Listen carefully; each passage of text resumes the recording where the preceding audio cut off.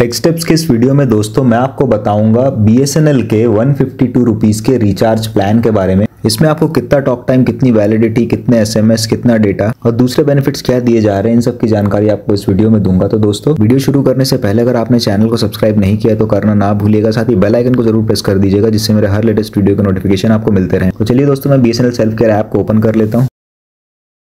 दोस्तों B S self care app open हो चुका है। नीचे मेन्यू है जिसमें हम होम पर हैं। तीसरा ऑप्शन रिचार्ज पे टैप कीजिए। टैप करते ही रिकमेंडेड पैक्स की स्क्रीन ओपन हो जाएगी। और ऊपर की तरफ़ राइट साइड में ब्राउज प्लान का एक फीचर है, इस पर टैप कीजिए। टैप करते ही ऑल पैक्स की स्क्रीन ओपन हो जाएगी, जिसमें ऊपर मेन्यू इसको स्क्रॉल कीजिए।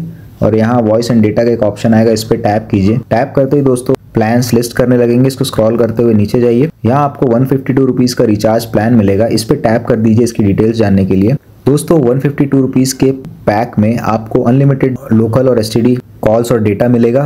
एसएमएस आपको 500 एसएमएस मिलेंगे, जिसमें नेशनल रोमिंग विद एमटीएनएल है। वैलिडिटी 30 दिनों की है। इसमें ध्यान रखने वाली बात यह है दोस्तों, ये दोस्तों सिर्फ़ और सिर्फ़ आईआईटी भिलाई कनेक्शंस के लिए तो दोस्तों, ये था वन फिफ्टी के रिचार्ज प्लान की डिटेल्स उम्मीद करता हूँ आपको वीडियो समझ में आया होगा पसंद भी आया होगा। वीडियो को लाइक करिए चैनल को सब्सक्राइब करना ना भूलिएगा। वीडियो देखने के लिए आपका बहुत बहुत धन्यवाद। मिलता हूँ आपसे मैं अगले वीडियो में।